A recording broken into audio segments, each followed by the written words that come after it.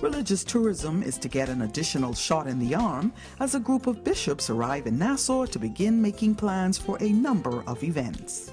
We all all know now that it's uh, at least a nine billion dollar annual budgeted market, uh, the religious tourism just in North America alone.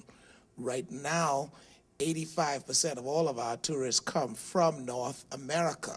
I think with greater organization and with strategic partnerships, we can certainly make that number uh, even greater.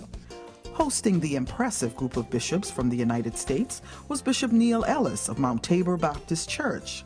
Also present was Bishop Paul Morton of Full Gospel Baptist Church International, who says that he plans to work diligently with the group to bring major reformations to the Bahamas.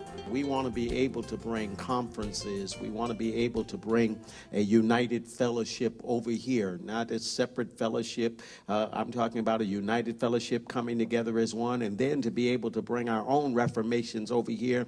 We're going to do it in a big way, and that's the promise that we are making, and that's the decision that we have made today to say that this is what we want to do. Want to do. So I'm excited. I'm excited, and I'm glad it's happening in the Bahamas. The group had just wrapped up what they called a very productive meeting with Ministry of Tourism officials and say that they are now ready to commit to planning future events together. I believe that the Bahamian people will be tremendously blessed.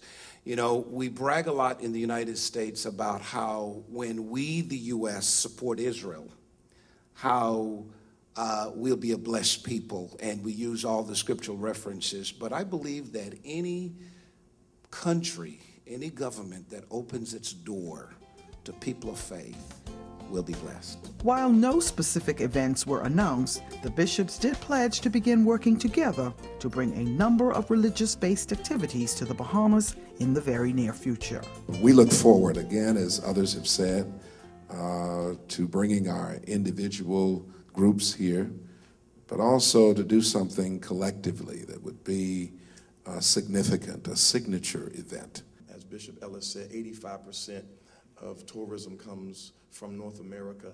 And in the meeting we had today, we learned that 35% of that comes from uh, southern Florida. Um, I'm a part of that 35% number, and uh, my goal is to take that uh, to 55%. Amen. To add some to that. Amen. And so uh, I look forward to working with uh, all the parties involved.